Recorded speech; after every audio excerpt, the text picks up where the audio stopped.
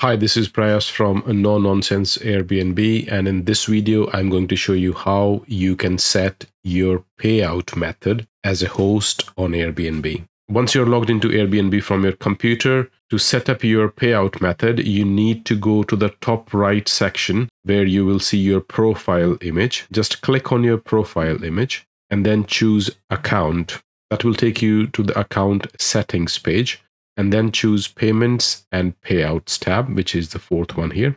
On this page, you will see it has multiple options here. By default, it will open up the payments tab. This tab is used for travelers. So any payment method you set here will be used to pay when you're traveling. But as a host, when you want to set your payout method, you need to go into the payouts tab, which is the second tab here. And then just click on setup payouts and this is where you can choose the country you are in. And the process is quite simple.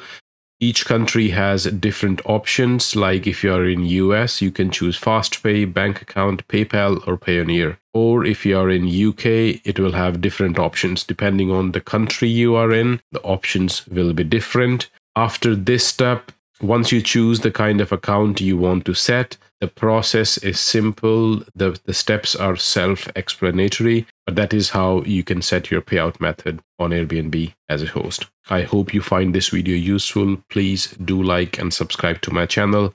Until next time bye bye